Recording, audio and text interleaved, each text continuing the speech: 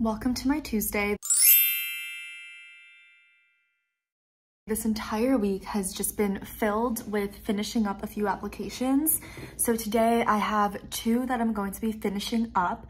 It took a lot more time than expected to get all of the preliminary information done for one of them.